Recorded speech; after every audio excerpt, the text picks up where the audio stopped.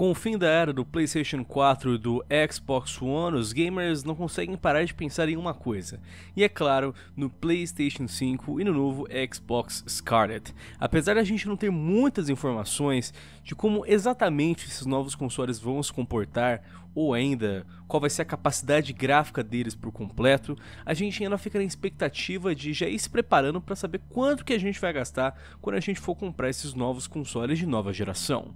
E olha galera, de acordo com algumas informações recentes, parece que a gente pode ir juntando uma bela numa grana no bolso. Porque quem fala com vocês é o Lion da Central, e agora eu vou passar para vocês as informações mais recentes de que vazou o preço do PlayStation 5 em uma loja europeia. Eu vou passar para vocês todas as informações, vocês vão ficar cientes de tudo o que aconteceu para a gente poder né, sanar algumas dúvidas. Mas antes de mais nada, eu só convido vocês a se inscreverem aqui na Central, clicar no sininho de notificações, assim você não perde nenhuma das nossas novidades, beleza? A gente posta dois vídeos por dia, um ao meio-dia, outro às sete da noite, então clica no sininho para não perder nenhuma novidade. Bem, como vocês sabem, recentemente foi oficializado pela Sony a data de lançamento do PlayStation 5. Ele está oficialmente agendado para ser lançado no Natal de 2020, então lá para dezembro a gente pode estar esperando o lançamento oficial do novo console da Sony, mas ainda fica aquela dúvida. Quanto que a gente vai ter que desembolsar para poder pegar o novo console da Sony? E, cara, é claro, a gente já está esperando aí um preço salgado, como sempre é nos lançamentos dos consoles. Mas olha, de acordo com um vazamento recente, parece que essa grana vai ser um pouco maior do que o esperado. O que aconteceu foi que um varejista da Eslovênia, chamado Pro Gaming Shop, deixou vazar o preço do PlayStation 5 listado no website deles. Se você entrar no website deles e clicar na página do PlayStation 5, você já pode se preparar para poder fazer a pré-encomenda do PS5. Apesar dele não permitir que você já faça a mesma, você pode marcar um estou interessado para permitir que eles te mandem um e-mail e e ou entre em contato com o seu telefone para já poder te dar mensagens quando as encomendas estiverem abertas no website. Mas apesar de você não poder já fazer a sua pré-venda, o que o website lista são alguns detalhes cruciais do console, assim como o seu preço. Ele dá algumas informações que a gente já tem conhecimento e que já foram confirmadas pela Sony, como a inclusão de um novo SSD interno para você poder gravar e rodar jogos mais rapidamente, o novo processador de 8 núcleos, o suporte à reprodução 8K e 4K e também o novo DualShock 5. Todas as informações que já foram confirmadas pela própria Sony. Agora uma coisa surpreendente que foi mostrada no website foi o seu preço. O website apresenta como o preço esperado do produto por 500 euros ou algo semelhante a 560 dólares. Isso, para nossa cotação atual, daria mais ou menos uns 2.300 reais. Isso sem contar impostos. Ou seja, a gente pode estar esperando uma coisa na faixa de 3 a 4 mil reais, se este for de fato o preço final do PlayStation 5. Agora, vale lembrar que, é claro, isso daqui não foi ainda confirmado pela Sony, não são informações oficiais do PlayStation, mas considerando que esse né, o website não foi tirado do ar, as informações ainda estão disponíveis. E eles estão deixando né, algumas informações de conhecimento geral. Isso daqui pode ser explicado por algumas né, possibilidades. Talvez o website está dando esse valor porque seria uma estimativa baseada nos cálculos de alguns acionistas, de alguns estudiosos da área. Isso também pode ser é, um palpite, um chute deles, ou também pode ser uma informação vazada de dentro da própria Sony.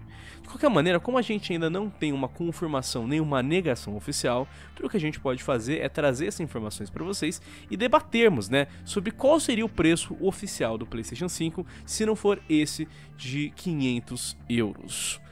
O que muitas pessoas estão né, dizendo é que, de fato, pelo chute, né, pelo palpite, é que a gente pode estar esperando algo em torno dos 500 dólares dos 500 euros. Mas se esse não for o valor oficial do PlayStation 5, então qual seria ele?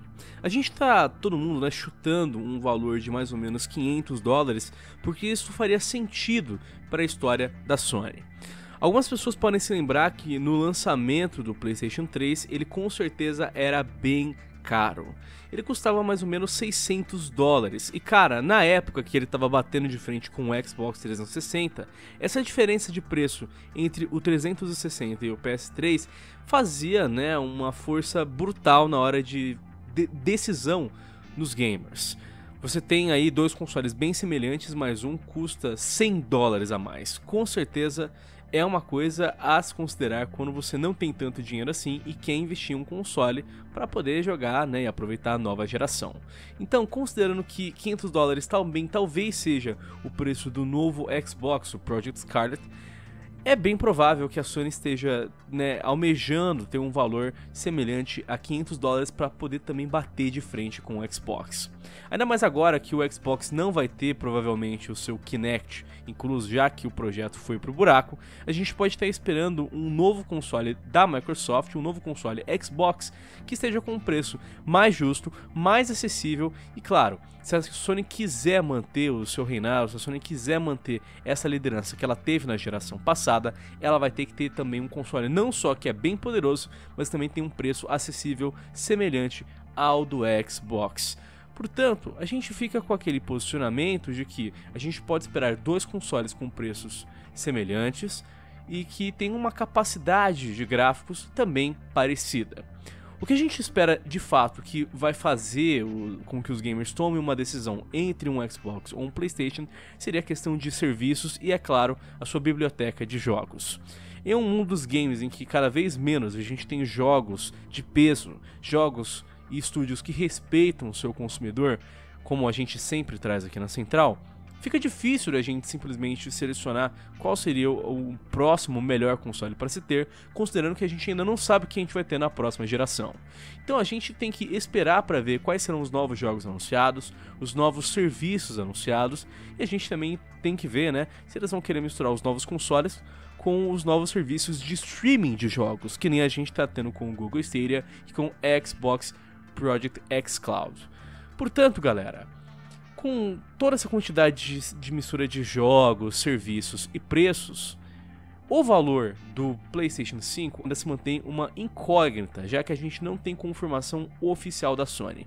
Mas com certeza, esse vazamento, essas informações desse website da Eslováquia podem estar mais do que concretos, considerando a maneira que o mercado tem se posicionando, considerando a maneira que o mundo dos jogos tem se levado e, cara, considerando a descrição né, dos novos consoles e de tudo que eles têm para oferecer, eu acho que esse seria um valor até que justo pela quantidade de tecnologia que a gente vai receber com os novos consoles de nova geração. Vale lembrar também que o website coloca imagens vazadas do dev kit do PlayStation 5, bem como o suposto novo controle DualShock 5 do PlayStation 5. Então, apesar de tudo, são imagens né, que foram vazadas e o próprio website diz que as informações podem também mudar ao longo do tempo. Ele também diz que o produto final pode ser um pouco diferente e as informações ainda não são finais. Portanto, nem eles têm certeza de todas as informações. Mesmo que esse vazamento seja 100% real, a gente ainda não tem uh, informações 100% concretas deles. Mas vale lembrar que eles também dizem né, informações próprias deles de que o PlayStation 5 estará disponível a partir do dia 4 do 12 de 2020. Então, apesar da Sony confirmar que o PlayStation vai ser lançado no Natal, na época de férias de 2020, esse website também, além de dar o valor, também está dando a data, que seria no dia 4 do 12.